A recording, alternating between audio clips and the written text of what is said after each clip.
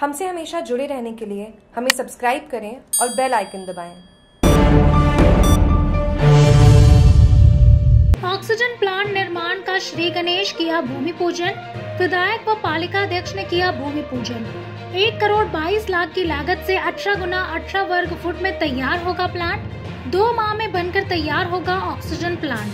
CHC के पास आकर लगा ऑक्सीजन प्लांट। आकरा भट्टा सीएचसी के पास विधायक जगसी राम कोहली व पालिका अध्यक्ष मगन चारण ने ऑक्सीजन प्लांट निर्माण के तहत भूमि पूजन किया। वैदिक मंत्रोच्चार के साथ विधि विधान से भूमि का पूजन किया गया। एक करोड़ बाईस लाख की लागत से बनने वाला ऑक्सीजन प्लांट दो माह में बनकर तैयार हो जाएगा।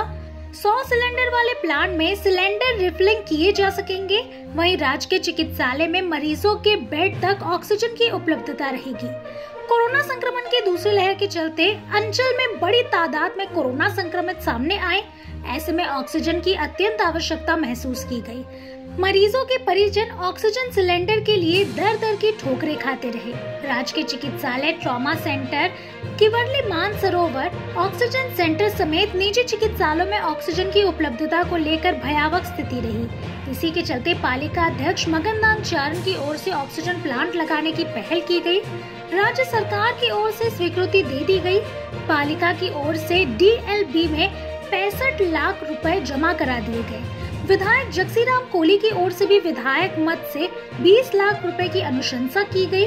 आगरा बट्टा राजकीय चिकित्सालय से सटकर 18 गुना 18 वर्ग फुट में ऑक्सीजन प्लांट लगाने का निर्णय किया गया इसी के तहत विधायक जगसीराम कोहली व पालिका अध्यक्ष मगन चारण ने भूमि पूजन किया गया इसके बाद विधिवत रूप से ऑक्सीजन प्लांट का निर्माण कार्य शुरू कर दिया गया। इस अवसर पर रूडीप के अधिशासी अभियंता दिलीप मंडल, पालिका के अधिशासी अधिकारी विनोद बंसल राजकीय चिकित्सालय के प्रभारी doctor P N Gupta, doctor M L Daksh Hadonia, doctor Gaurav Mewada, वरिष्ठ नर्सिंग ऑफिसर दुर्गेश सक्सेना, पार्षद सुरेश बंजारा आदि मौजूद थे। चिकित्सालय के पास ऑक्सीजन प्लांट में 100 सिलेंडर रिफिलिंग किए जा सकेंगे।